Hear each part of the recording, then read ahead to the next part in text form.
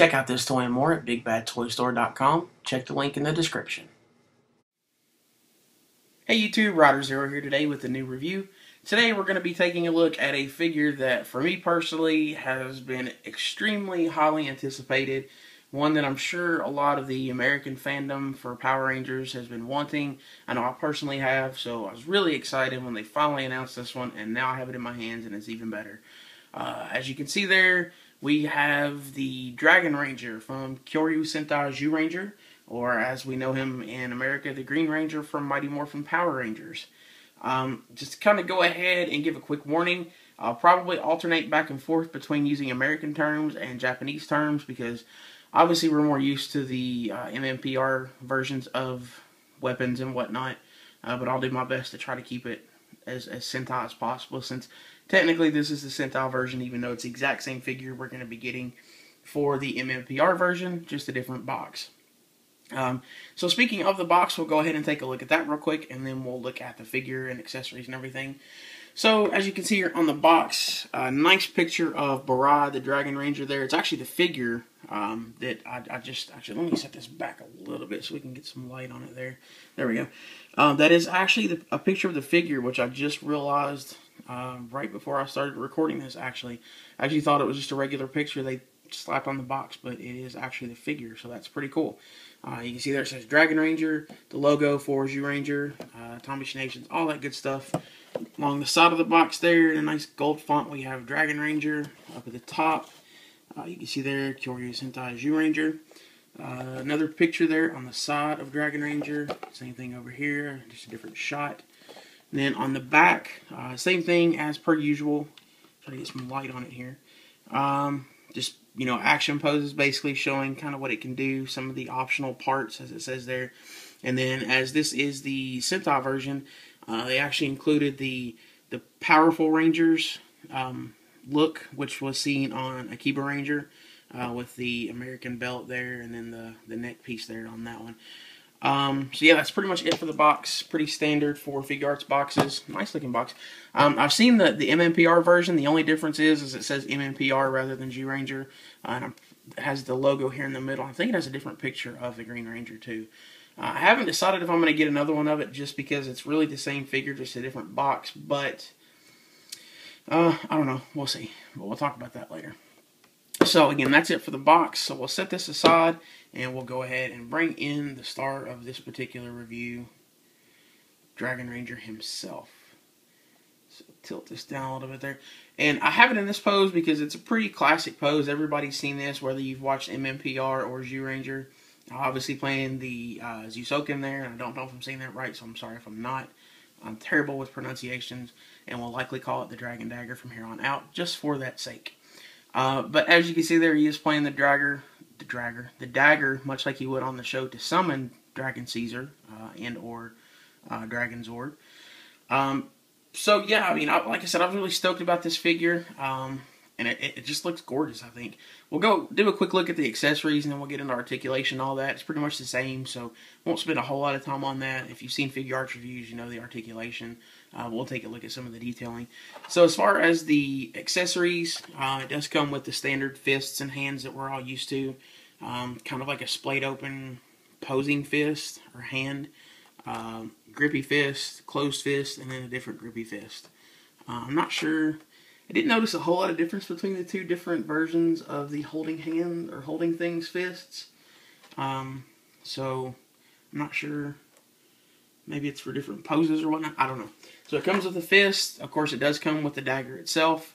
Uh, and then it also comes with the Sword of Hellfriede or the Sword of Darkness, whatever you want to call it, which is very, very nicely done, very nicely detailed. Um, the actual, the little, let's, let's zoom in on it here if, if it'll allow us to do so. Um, you can actually kind of see through the, the gem there. It, it is actually see-through, but now with some light on it, it actually helps. You can see the actual figure there in the background. If I bring my finger up it, you know, you can see it moving there. So that's pretty cool that is actually a clear little piece of plastic or resin or whatever it may be rather than just being painted on. That's uh, pretty neat. Uh, nicely detailed overall. Looks pretty much identical to the actual sword from the show. So that was really neat. Um, I did not choose to pose it with this one as of yet. As you can see, I've, I've had it on my desk in that pose, uh, just because I liked it best. And uh, I didn't feel like moving it because that one, that pose there was a pain in the butt for me to get right. Uh, other than that, it comes with the Powerful Rangers accessories, which is basically just uh, a belt with the American flag on it. Uh, the detailing on the on the actual morpher or changer there is pretty nicely done. Uh, and like I said, the only difference is just the American flag. Then it comes with a different neck piece as well that has the star, or not stars, but has the stripes and the red, white, and blue color scheme across it for the Powerful Rangers. Um, I really did not actually shame on me, but I never watched the Akiba Rangers, so I'm not sure what that storyline involved.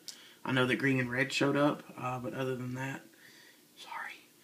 so, as far as the figure itself, we'll take a look at some of the detailings here. And as much as I hate to do this, I'm gonna I'm gonna move the pose here. This pose is such a pain in the butt to get. Um, so here is the actual dagger itself. Very, very nicely done. Very nicely sculpted, painted, detailed. Um, I mean, it looks pretty much like a legit dragon dagger, just a very, very miniaturized version. Um, really happy with how that turned out. Uh, so, so yeah looks really, really awesome, especially when posed like it was before. As far as detailing on the figure, let's put the arms down here. Uh, head sculpt is done very nicely, very accurate, uh, as we're used to with pretty much all Figuarts. That's why we buy them, because they're, you know, pretty much the standard for, for most uh, figures here. Uh, again, head, getting tongue-tied here, I'm getting so excited. Head sculpt, nicely done. Coloring is nicely done. Details, uh, the gem, the teeth, all very, very nicely done. Uh, I don't know if it was intended. I'm pretty sure that's probably just where the, the actual helmet snapped together just for, you know, um, purposes to put it on the figure. But it's actually almost kind of authentic just for the fact that that's about where the helmet split apart when they took them off. So that's pretty neat, even though it probably wasn't meant to be that way. Uh, the shield looks very, very nice, pretty accurate to um, to the show as far as the little uh, detailings here on the inside of the diamond. Uh, just the overall look itself, the coloring, everything is very, very accurate. Um, you know, the, the, little indentation stripes, whatever you want to call it, going all the way around, look really good. Uh, the shield does actually come off. Uh, it's kind of difficult. You have to take the arms off and then take the head off and then be very, very careful not to scratch up the figure because it's not intended to come off, but it is possible to take it off. However, I won't be doing that because I'd probably break it. Uh, gold bands on the biceps, accurate to the show. Uh, gold trimming on the gloves, and uh, the, the, green spikes, triangles coming down from there. Again, very very accurate. Uh, down to the to the actual belt. Thank goodness they colored it gold, and you can actually see the detailing for the for the dragon coin there. So that's really really cool. Uh, it does come with the uh, sheath for the dragon dagger or Jusoken. I don't know if I'm saying that correctly again. Hopefully I am, so don't don't hate on it too much if I wasn't. Uh, the green coloring is very nicely done. Again, very accurate. Uh, down to the boots, triangles painted nicely. Gold trim around the top there. Uh, same thing, you know, going around the back there. Thankfully, the joints were all in color with the costume. Uh, I kind of don't like the way that the arm looks there where the joint meets, but I guess it had to be done just for the fact that these uh, the gauntlets that they wear, or especially the Green Ranger wears, is a little bit different from most of the other uh, Sentai Rangers for for Zyuranger because of the gold trim at the top. So probably a little bit easier to do on the other Rangers. Um, articulation wise, uh, pretty much standard. Like I said, you know you can get all the normal range of motion with the head. There's no no really hindrances because of the because uh, the dragon shield there. Uh, 360 at the shoulder. It's a little bit more difficult because you have to kind of wiggle it under the under the armor there, uh, but nothing that you know is, is, impossible. It's totally totally doable. Uh, double joint there at the elbow, uh, full you know. Re- I'm so tongue tied and I have no idea why. Uh, normal wrist joint rotation 360. Uh, does have stomach articulation or articulation at the waistline. Does have that crunch there with the chest. Um, you know, standard Figuarts joints at the thigh there. Double jointed knee and the hinge uh, toe. No, little bit of side to side. This one's a little bit tight there, so probably has side to side, just not able to do a whole lot there. Yeah, you can see pretty much, like I said, it's, it's standard articulation. I'm not going to spend a whole lot of time on it. Um, overall, I think this is a very, very fantastic figure. Uh, just to kind of show off the hands it's on it, actually, you can see there the way they kind of look, how to, you know, this hand is meant to hold the, the dagger, and this is supposed to be like the playing. This hand is for the uh, actual playing of the notes and whatnot. Uh, so yeah, very, very nice looking overall. I'm extremely happy with this figure. Um, Green Ranger's always been my favorite. Yeah, I, you know, I, I, won't say that MMPR was the best or anything, or Zyuranger was the best Sentai. When I was a kid, you know, I was all about Power Rangers, and when Tommy showed up, that was it. It was it was on. That was, I mean, from from since he showed up, it was always my favorite. Um, you know, I know a lot of people hate on Tommy and hate on on Power Rangers because of how campy and whatnot it was, but you know, it, it's whatever. Everybody has their own opinion, and everybody likes what they like. And it just so happens I'm I'm a big fan of Tommy the Green Ranger and uh, of Burai the Dragon Ranger. So when this one was announced, this whenever whenever we first I first started collecting Figuarts, and then I learned that they were going to start doing Sentai. This was the first one I wanted to happen, uh, and now that it finally has, I'm I'm pretty stoked with it. I was extremely happy when this one came in.